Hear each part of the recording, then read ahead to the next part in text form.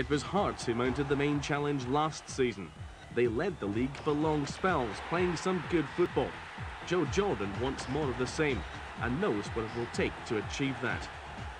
Well, it's up to, to us to, um, to play as a unit, to play to our strengths, and hopefully we can improve uh, on that quality of team play and individuals playing within the team. And as I said, uh, if we can, and the time's right, and the players right, that we can bring those players in that can improve uh, the squad that we have.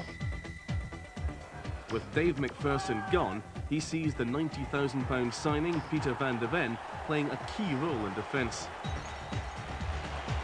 I'm looking forward uh, to this challenge. Uh, it's, it's, for me, it's still a big move, and uh, I think Hearts are one of the better clubs in Scotland. So I'm looking forward to start uh, against Celtic Saturday. Yeah, we're our opening game of the season, and uh, I don't think there'll be a seat in the place. What can a player ask for? Can't ask for any more.